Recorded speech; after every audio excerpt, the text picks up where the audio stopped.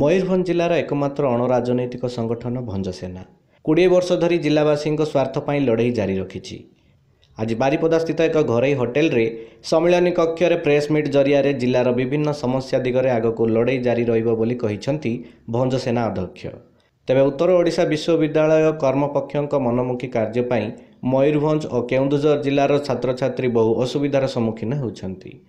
ଉତ୍ତର ଓଡ଼ିଶା ବିଶ୍ୱବିଦ୍ୟାଳୟରେ ଦୀର୍ଘଦିନ ହେବ ସିଣ୍ଡିକେଟ୍ ଓ ସିନେଟ୍ ମେମ୍ବର ପାଇଁ ନିର୍ବାଚନ ହୋଇନଥିବାରୁ ଭଞ୍ଜସେନା ଉଦ୍ବେଗ ପ୍ରକାଶ କରିଛି। ତେବେ ଆଗାମୀ ଦିନରେ ଭଞ୍ଜସେନା ଜିଲ୍ଲାର ସ୍ୱାର୍ଥ ପାଇଁ ଲଢ଼େଇ ଜାରି ରହିବ ବୋଲି କହିବା ସହ ବିଶେଷ କରି ଉତ୍ତର ଓଡ଼ିଶା ବିଶ୍ୱବିଦ୍ୟାଳୟରେ ଛାତ୍ରଛାତ୍ରୀମାନେ କିପରି ସୁରୁଖୁରୁରେ ପାଠ ପଢ଼ିବେ ତାହା ପାଇଁ ଆନ୍ଦୋଳନକୁ ଓହ୍ଲାଇବ ଭଞ୍ଜସେନା।